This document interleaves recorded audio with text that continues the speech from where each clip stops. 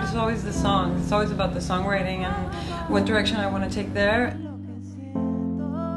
I've always used a combination of both, of various synthesizers and drum machines, contrasting them with accordion and acoustic guitar.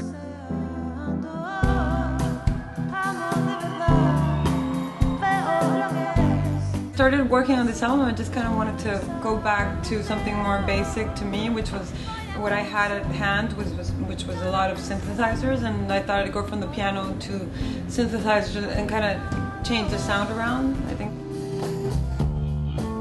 I felt that if I wasn't using the same elements, I would automatically find other ways of, of solving the songs.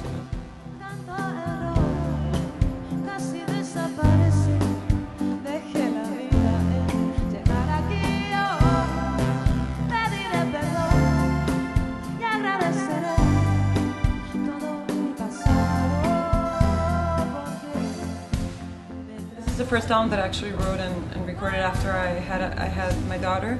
And I don't know. I think everything kind of changes. Your radar grows, and you kind of see around you, and are much more aware of other thing, other stories that you want to tell.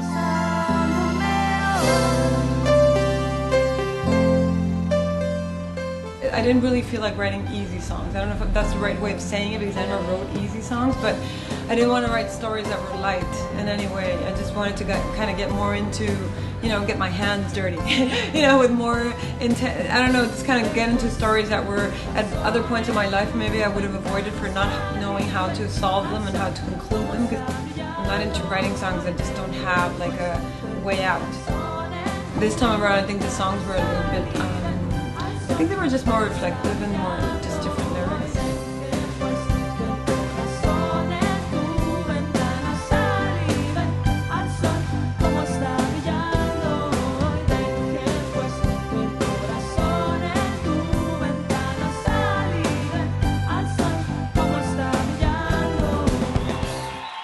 Hola, muy buenas noches.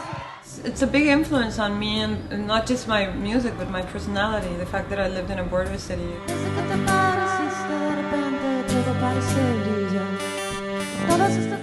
You live in two very contrasting places. It's not just that you live in a border of two different countries, but very contrasting countries. Musically, it really influenced me because I, when I was growing up, I listened to a lot of music in English. Eventually, it changed. I, I started listening to other stuff, not only music in Spanish, but music in other languages. But I think the fact that I had access to all that was because I lived in a border city. I mean, if I would have lived in Mexico, I mean, now it's now it's completely different because of the internet. But at that time, in the 80s and 90s, it wasn't very easy to access music. So it was a big deal for me to grow up and with that all that information going around.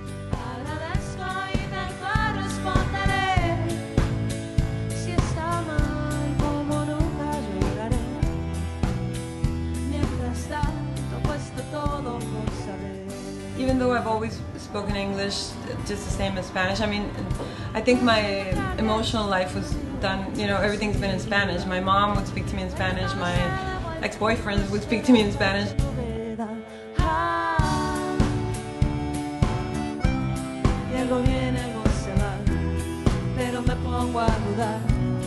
Me confundo y no distingo si está bien o si está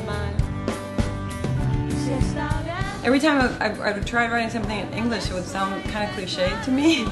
So I guess there is something about the language that I just, it's more, it's more intuitive when I do it in Spanish. It just comes out more naturally.